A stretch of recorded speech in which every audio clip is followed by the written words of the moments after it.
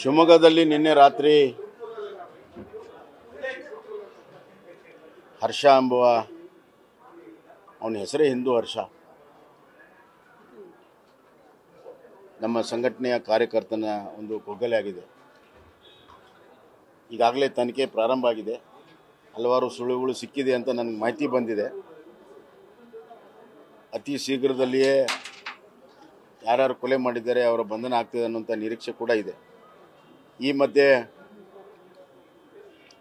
ಯಾವುದೇ ರೀತಿಯ ಅಹಿತಕರ ಘಟನೆ ನಡೆಯದಂತೆ ಅಲ್ಲಿ ಪೊಲೀಸರು ಕೂಡ ಸೂಚನೆಯನ್ನು ಕೊಟ್ಟಿದ್ದೇವೆ.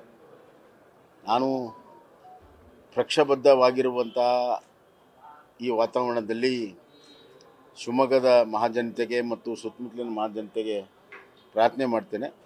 ಇದಕ್ಕೆ ನ್ಯಾಯಸಮ್ಮತವಾಗಿ ಮತ್ತು ಶೀಘ್ರದಲ್ಲಿಯೇ ತನಿಖೆಯನ್ನು ಮಾಡಿ ತಪ್ಪಿತಸ್ಥರಿಗೆ ನಾವು ಶಿಕ್ಷೆಯನ್ನು ಕೊಡೋದಕ್ಕೆ ಎಲ್ಲ ರೀತಿಯ ಕ್ರಮ ತೆಗೆದುಕೊಳ್ತೇವೆ.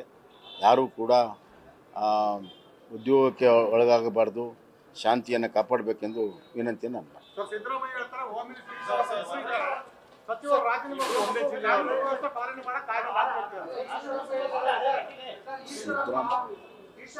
ಸಿದ್ದರಾಮಯ್ಯ ಅವರು. ಸಿದ್ದರಾಮಯ್ಯ ಅವರು ಯಾವಾಗಲೂ ಕೂಡ ಭಾಳ ದಿವಸ ಆಯ್ತು ಈಗ ತರ್ಕ ಬ- ತರ್ಕ ತರ್ಕವನ್ನು ಬಿಟ್ಟೇ ಮಾತಾಡ್ತಾರೆ